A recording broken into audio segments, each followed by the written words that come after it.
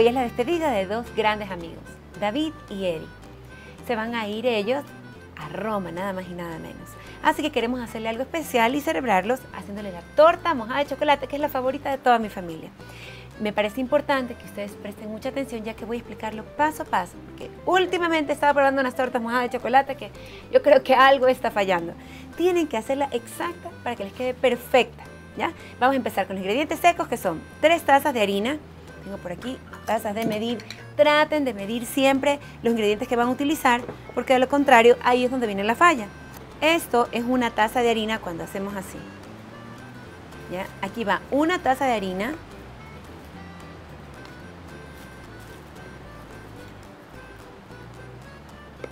Tres tazas de harina. Dos y media cucharaditas de bicarbonato. Y hacemos lo mismo, siempre colmada al ras. Listo, una. Aquí está colmada, luego al ras.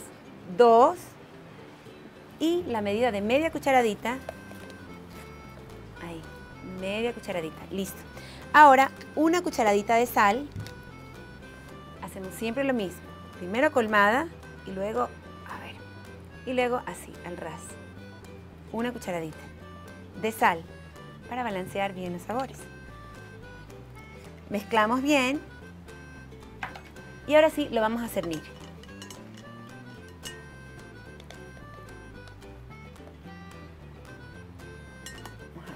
esto bien ahí. No importa si sale un poquito porque lo vamos a servir esto unas dos veces por lo menos o tres para que sea muy muy ligera y la torta me quede muy esponjosa.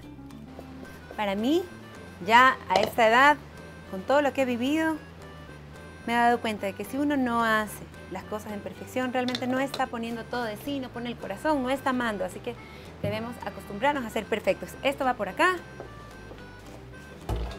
Y ahora tengo los ingredientes secos, ¿verdad? Necesito ahora una taza de cocoa que la voy a colar una sola vez, es suficiente, aquí, en la mezcla de la harina. Eso.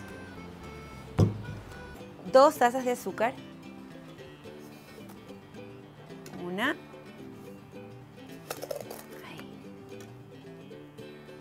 Y dos, bien medido. Y ahora vamos a hacer esto y siempre busquemos un recipiente donde abrirlos para cerciorarnos de que estén muy frescos. ¿Cómo sabemos que el huevo está fresco? Cuando su yema está entera.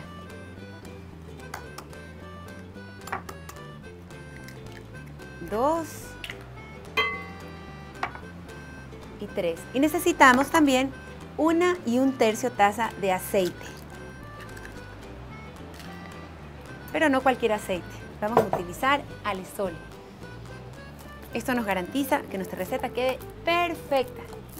Entonces, una taza, listo, y ahora mido un tercio de taza de aceite. Este es de un tercio. Para los líquidos vamos a mezclar. Tengo este recipiente. Yo creo que ahí estamos. Última batida. Ya cuando vean eso cremosito está perfecto. Ahora, los ingredientes líquidos. Tengo aquí dos tazas de leche. Vamos a medirlas aquí. Una. Y dos. Luego vamos a colocar dos cucharadas de vinagre. Esto va a hacer, déjenme limpiar aquí, esto va a hacer que la leche se corte y va a causar un efecto químico junto con el bicarbonato y todos nuestros ingredientes bien especial. Una y dos cucharadas de vinagre en la leche. Y ahora vamos a poner una generosa cucharada de esencia de vainilla.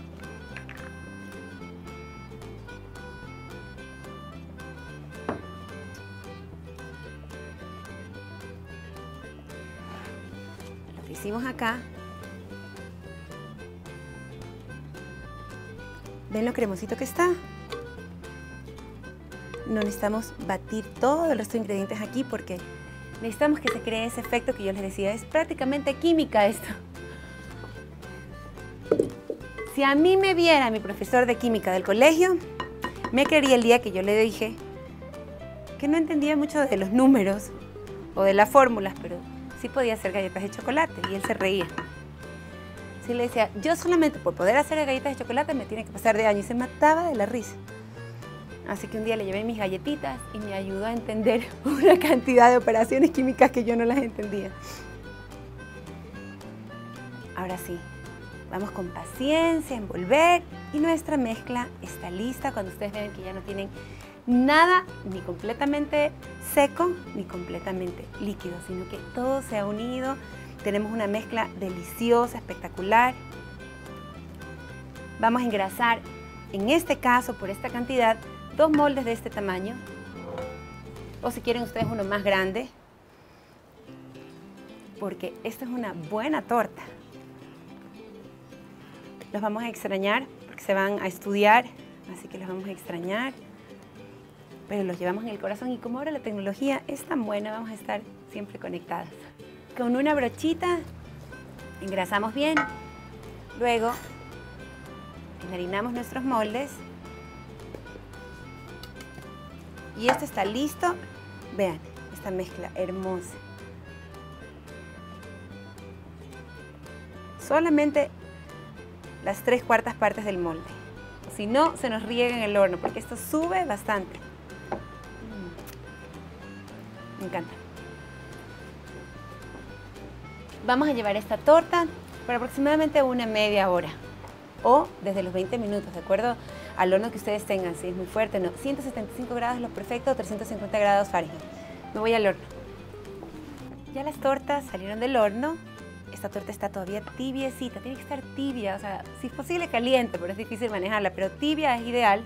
Y vamos a hacer la salsa ahora que baña esta torta. Vamos a poner una lata de leche evaporada con la misma medida de la lata, pero de crema de leche.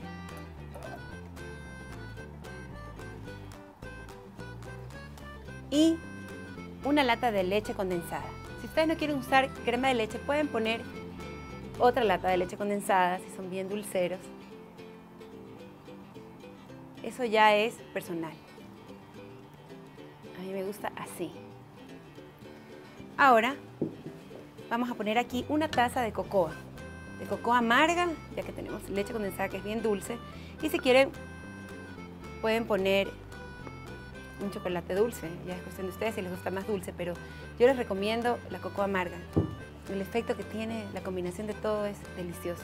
También pueden ustedes, si tienen una fiesta ya para adultos, ponerle esto un poquitito de whisky, por ejemplo para hacerlo como una crema de Baileys, queda delicioso porque tiene el sabor de chocolate que lo hace, le ponen una cucharita de café y lo hace mucho más rico también.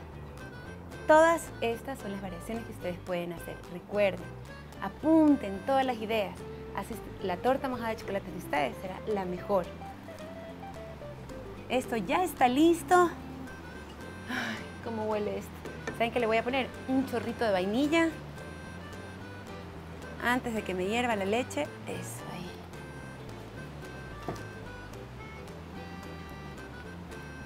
Y ahí ustedes pueden poner su toque, el toque mágico del amor. Ese es el que nos inspira a hacer buenas cosas en la vida. Bueno, estoy lista, un cucharón para comenzar a bañar mi torta. Está espesita, la salsa. Voy a dejar cocinar un poquito más. Pero por consideración ustedes, voy a empezar a bañar la torta. En, un, en una fuente que pueda contener toda esta salsa, es donde tenemos que servirla. Vean. Todavía tengo trocitos de cocoa, pero mmm, me agua la boca. Vamos a dar la vuelta a la otra torta y la colocamos despacito. Vean qué hermosa. ¿Se dan cuenta lo suave que está? Miren lo esponjosa que está es perfecta. Vamos a terminar de bañarla y estamos listos. Espero que les haya gustado la receta favorita de Mariuxi.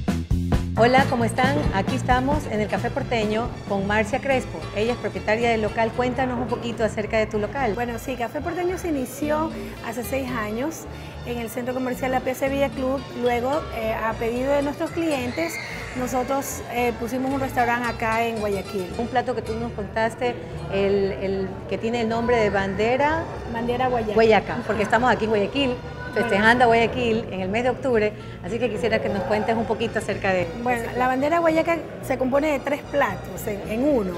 Eh, tiene ceviche de camarones, tiene guatita y tiene eh, seco de chivo, que es el plato ganador de la Feria Raíces. Obtuvimos el segundo puesto. Uy, esto sí que se ve delicioso. sí, son de, chicharrón, de queso mixto. Ese es el de queso. Queso, chicharrón. Chicharrón y mixto. Exacto, tenemos variedad de bolones.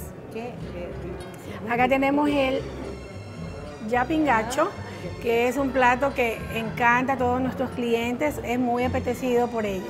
Miren amigos, qué delicia, qué presentación, todo se ve tan rico, tan fresco, tan delicioso, esos huevos fritos muy bien hechos, te provocan realmente. Y nuestro plato estrella de las tardes, que es moro con chuleta. Este plato es un plato que, también les encanta, pero en las tardes lo consumen más. ¿Cómo festejas tú, cómo festeja el Café Porteño a Guayaquil en este mes de octubre por sus fiestas?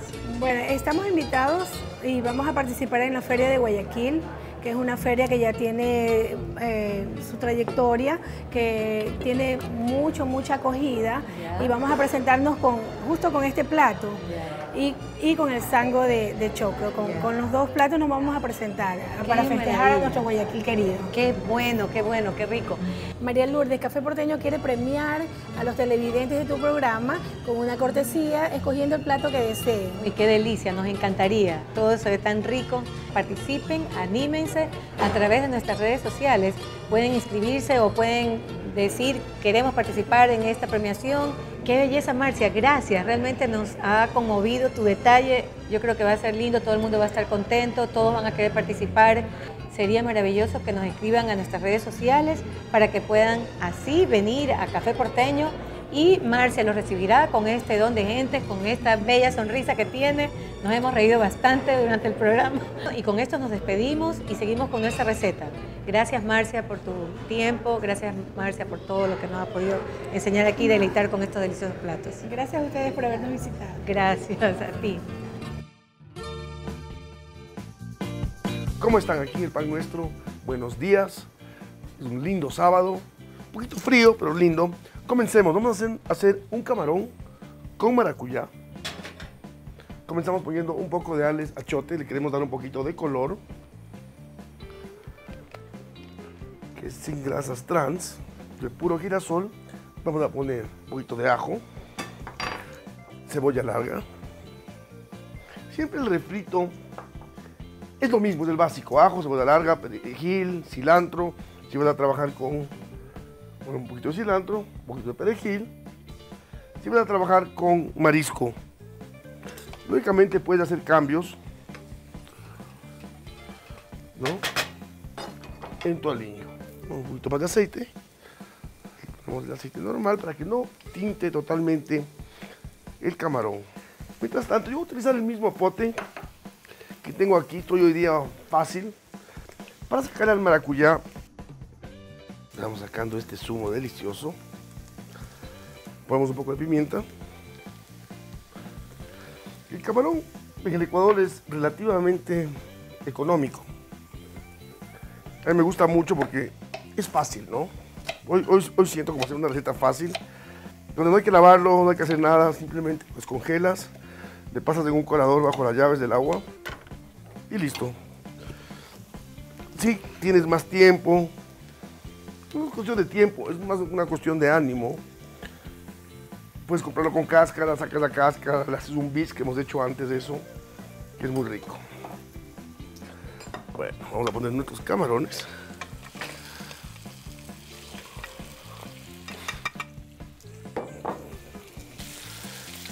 Vean cómo está cogiendo eso cuerpo.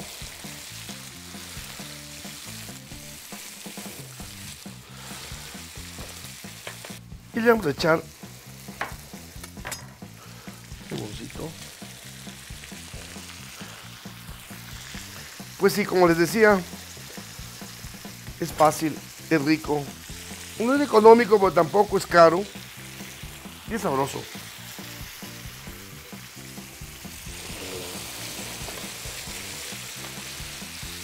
Como coge ese color.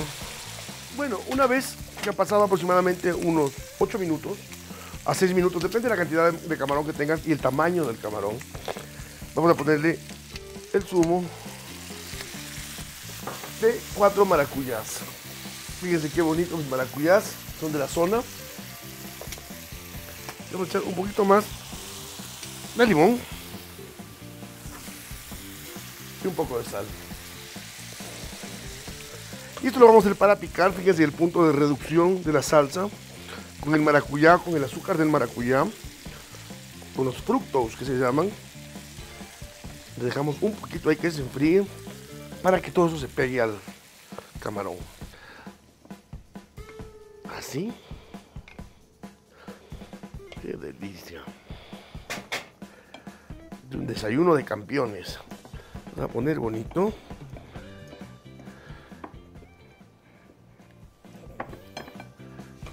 Vamos a limpiar nuestra superficie. Fíjense cómo los colores, siempre que limpiamos, vamos echando hacia adentro, ¿no? Bueno, este está fuera de lugar, por ende, chao.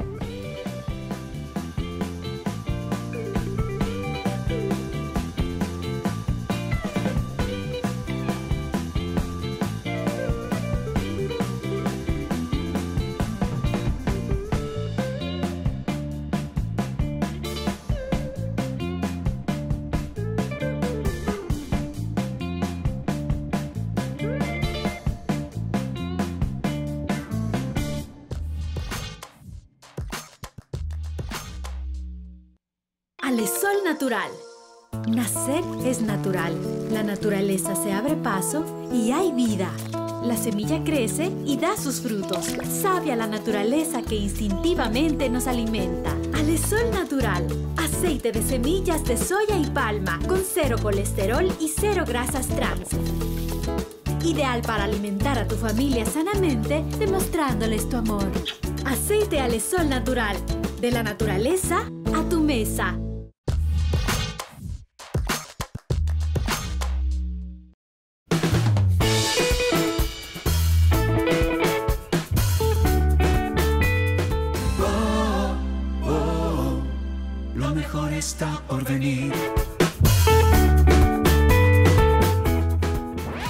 Hola amigos, bienvenidos a nuestro primer concurso de platos típicos guayaquileños, con el que vamos a festejar a nuestra perla del Pacífico. Queremos agradecer a Banco de Guayaquil y Almacenes Tía, ya que gracias a ellos este segmento del programa llega a sus hogares. El jurado está conformado por el chef Carlos Matute, por el chef Tomás López Leonor Villegas. El juez de piso será el chef Carlos Nenger. Todos los participantes están acá ya nerviosos porque vamos a escoger mediante un sorteo quién empieza primero.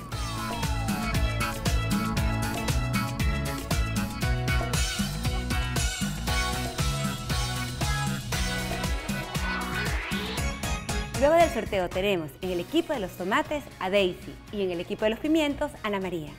Ellos tienen ya todo listo porque solamente les quedan 30 minutos que empiezan ahora.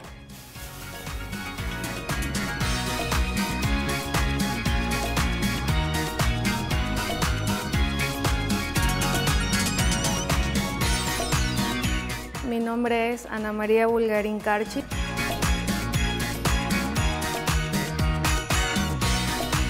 Bueno, el plato que voy a preparar hoy es el seco de pollo. Es un, es un plato muy utilizado aquí en Guayaquil. Mi nombre es Daisy Tello. eh, voy a preparar un caldo de bola.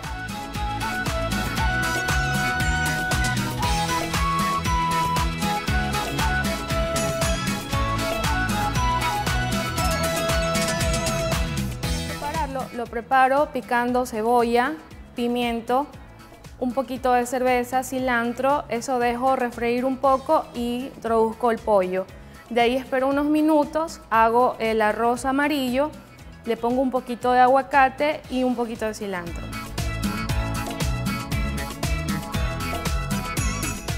Bueno, empezamos a hacer el- un buen consomé con todos los ingredientes. Cómo van nuestros participantes? Nos quedan cinco minutos, así que apurarse. hacer el refrito y empezamos a rellenar la- las bolitas.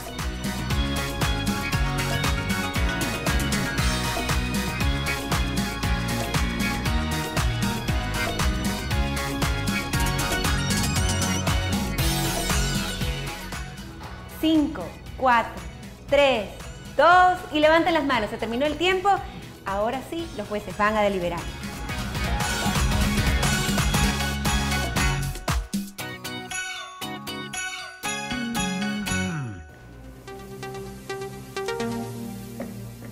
Por favor. Gracias. ¿Qué tal, Daisy? ¿Cómo estás? Muy bien. Gracias. Bueno, primero déjame felicitarte por Gracias. el hecho de estar aquí. Simplemente por estar aquí ya eres una ganadora para nosotros. Gracias. Has tenido la valentía de venir a un escenario nuevo a probar con equipos que posiblemente no están tan eh, familiarizados contigo y has hecho una preparación bastante compleja para los 30 minutos que tenías. Gracias. Entonces vamos a proceder ahora a revisar eh, la lista de compras y a degustar para hacer nuestras observaciones. ¿Te parece? Sí. Gracias.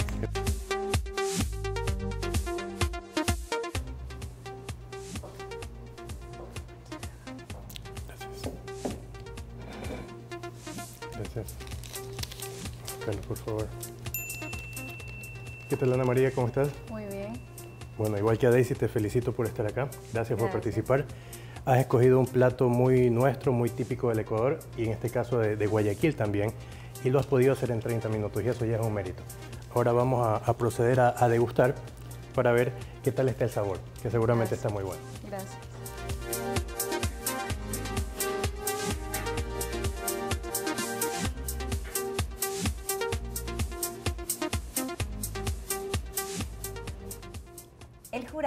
Tiene ya un ganador. Así que vamos a preguntarle a Tomás si tienen ya el resultado. Bueno, claro que sí, Mariuxi. Efectivamente ha sido bastante complejo, bastante difícil tomar una decisión porque ambas propuestas han estado muy buenas, considerando que son amas de casa. O sea, el sabor excelente.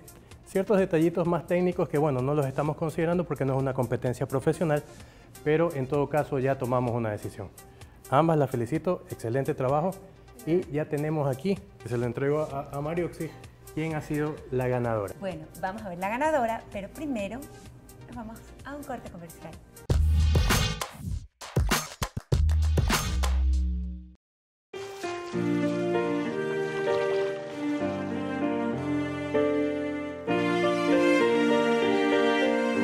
Ella sabe que siempre puede contar con papá. Cuando sabes que cuentas con alguien, sientes más seguridad. La angustia pasa, la presión desaparece.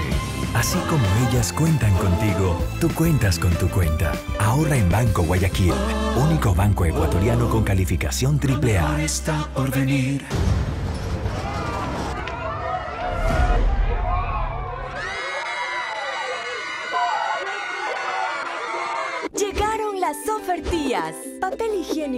12 rollos, 4,99. Suavizante Suavitel 360 mililitros, 99 centavos. Cepillo dental Trial, 99 centavos. Nadie es como tía. Calidad, variedad y economía.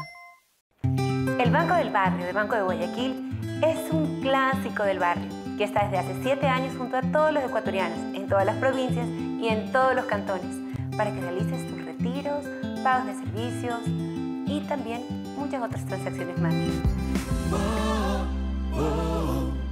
Lo mejor está por venir. ¿Quieren saber quién es la ganadora? Claro. La ganadora es... ¡Ah! ¡Pimiento! Un aplauso. Felicitaciones. Felicitaciones. Gracias, mi Daisy querida.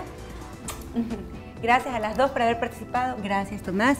Gracias, y a María. todos los jueces que nos han acompañado el día de hoy. Recuerden, En el próximo programa continuamos con el concurso del mejor plato típico hecho por una guayaquileña. Continuamos con el programa.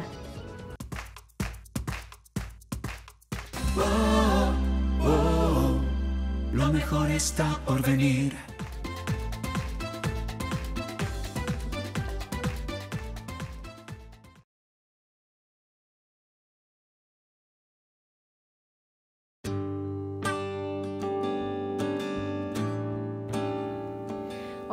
¿Cómo están? ¿Cómo han pasado? Estamos felices de recibir sus cartas que nos envían al Facebook. Síganos siendo, nosotros estamos siempre felices, ya saben, queremos también agradecerles por todas las palabras de cariño que siempre nos ponen. Eso nos alegra y realmente queremos eso, llegar a su corazón. En este momento les vamos a leer una carta que nos ha enviado un amigo o una amiga y nos dice, María Lourdes, te cuento que soy una persona que le gusta lograr trabajos impecables, perfectos. Cuando se trabaja en grupo, al ser más personas, debería salir el trabajo final mucho mejor. A mis amigos en el último proyecto les exigí demasiado. Trabajamos lento y eso me desesperaba. La pelea que tuve con uno de ellos fue grave. No hemos hablado en el tiempo de dos meses de vacaciones y reconozco que fue mi error haberle herido con mis comentarios inoportunos. Herí bastante a esta persona en el orgullo igual que a mí, pero quiero arreglar la situación tan solo que no encuentro las palabras exactas. Es una amistad, no quiero que termine, y menos aún de esta manera, saludos. Realmente, si tú dices que es una amistad, eso es lo que tú debes de cuidar. ¿Y cómo se debe de cuidar? Primero, teniendo confianza a esa persona. A pesar de lo que haya hecho, si tal vez cuando hay un grupo es mucho más difícil trabajar, pero a la vez se hace agradable porque uno aprende, uno crece como persona en un grupo y esa es la meta, ¿no? lograr el, trabajo, pero también lograr ese cariño que aumente entre las personas, ese respeto que es tan importante. Pero yo pienso que lo importante es tener la valentía, la fe, porque creo que la fe es lo más grande, un pilar, un valor maravilloso que nos ayuda a que realmente esta persona que está, que es tu amiga, que está sintiéndose mal por lo que le dijiste y ya ha pasado tanto tiempo, sí es bueno que le pongas palabra enseguida y que él también aprenda a que es importante también aceptar disculpas y a la vez también tú también saber pedir disculpas. Entonces la vida se vuelve mejor y se vuelve más sana, más saludable porque no hay nadie perfecto. Entonces el momento en que tú quieres y exiges perfección, no va a pasar eso y ese va a ser un problema grave porque tú te vas a disgustar, vas a perder la tolerancia, no, vas, no va a salir mejor de lo que tú piensas. Entonces yo pienso que ese es el, el regalo más grande que puedes dar al grupo, poder tú dar el ejemplo de pedir y acercarte, pedir disculpas a esa persona. Y así van a continuar felices con esta amistad que ustedes tienen. Eso es todo por el día de hoy. Yo creo que con eso cerramos esta partecita, este consejo pequeño, pero que espero que te sirva. Un abrazo grande a todos, los esperamos la próxima semana. No se olviden de escribirnos a nuestras redes sociales. Un abrazo grande, grande.